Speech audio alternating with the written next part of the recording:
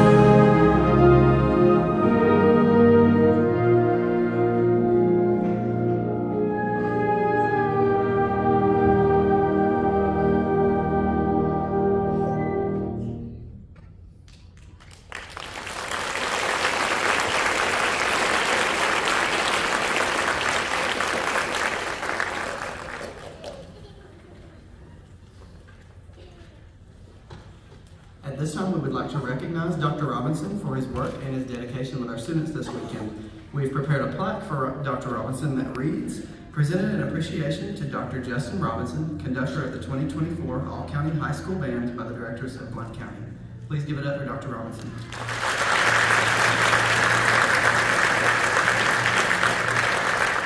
Thank you so much. It's been absolute blast to work with your children and students uh, this week. And I'd first like to give some thanks um, to the directors of Blount County for just giving me this opportunity to work with them. Uh, this is my first year here at Wallace. Um, my family and I moved here from South Carolina just this past August.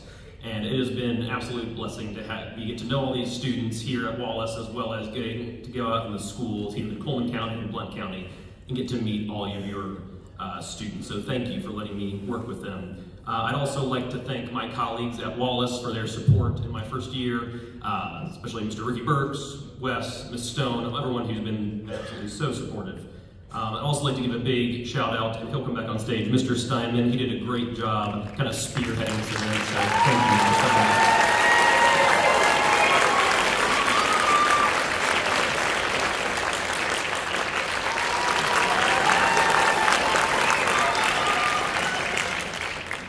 And uh, on the topic of your, your children, they are awesome to work with. They uh, just blew me away with how much they improved, even in between rehearsals. They'd be on their breaks, and then I would see them back in here early, and they'd be here just working out their parts, something they didn't understand. They'd come and ask me, and that's just awesome that you all instill that sense of work ethic in your children. So please keep doing what you're doing uh, and keep giving support to all these directors around the area because they work countless hours. The other evening, uh, I guess it was two evenings ago before we started, I texted Mr. Simon with a question and he, he was still at his office. This is like at nine at night, still getting stuff ready for this. So please give your thanks to them when you see them.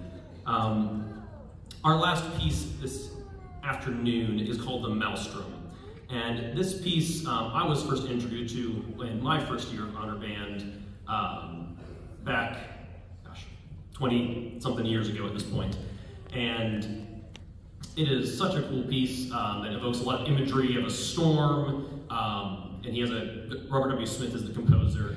And I mentioned earlier, Robert W. Smith passed away this past year. He was the band director for a while at Troy University. And he has had such a huge impact on the band world, writing a lot of material for different age groups um, to perform. And so he's just an outstanding composer and music educator. And uh, our final piece is by him, and so we wanted to honor him in that way uh, after his passing this past year. So we hope you enjoy the Maelstrom.